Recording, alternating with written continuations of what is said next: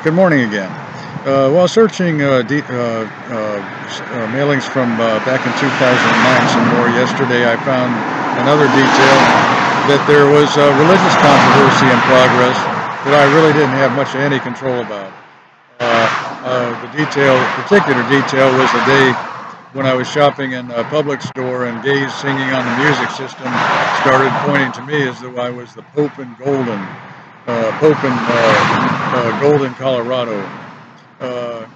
you know, as I say, the, their progressions uh, about the particular gays are probably associated with family that I never knew. Uh, for, as, as, I've mentioned before, in Colorado, uh, Nebraska, and Utah.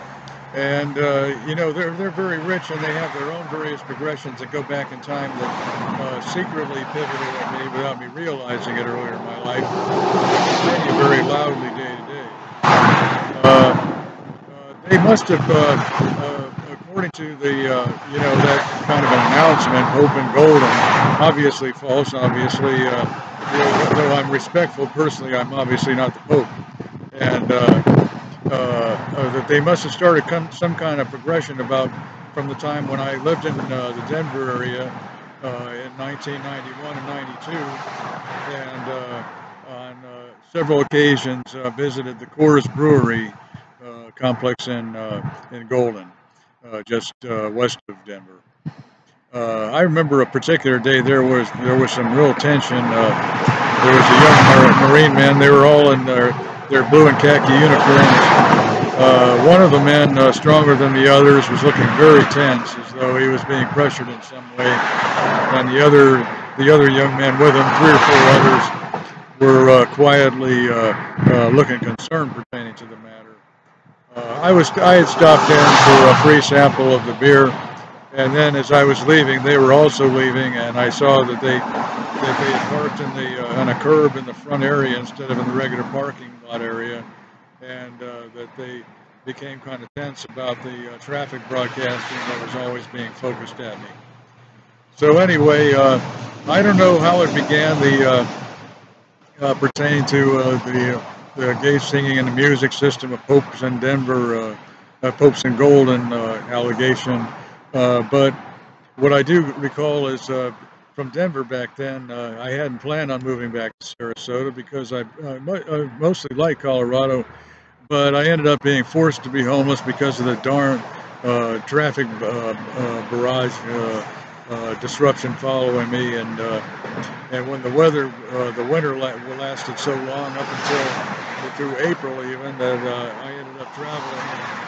When I got back to Colorado and uh, in uh, mid-October of '92, and it was still freezing cold, getting freezing cold again, starting another winter in October.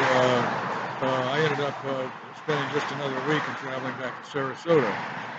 So uh, by then, uh, you know, by some months uh, later, in early '93, I ended up spending some nights on the property of Incarnation Catholic Church in, uh, uh, on Bee Ridge Road. And what I had known during that time is by August, uh, when I was still spending nights, not all of the nights there, I also spent some nights on the property of Holy Cross Lutheran Church, also on Bee Ridge Road on the corner of Beneva. Uh, that um, from August 10th of, uh, of uh, 92, 93 through uh, the 15th, the Pope visited Denver.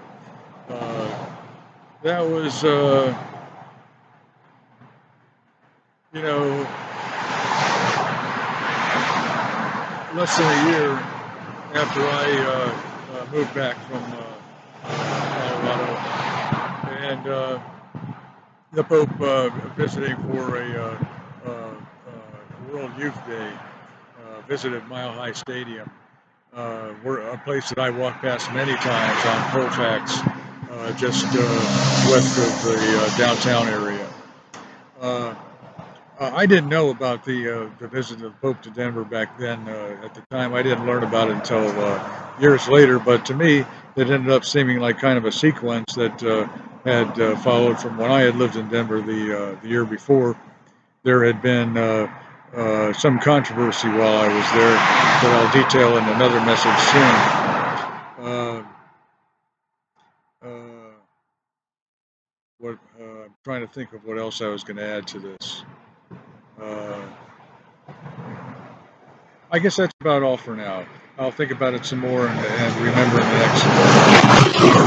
Again, uh, uh, really, I'm always hoping for everyone to be safe. When I visited the church property back then, I was mostly only there after hours. Uh, but uh, I was always for everyone being safe. Whatever, whatever kind of controversies there are or corruptions pertaining to leadership, for all of the innocent people continuing and and being safe. Have a good day.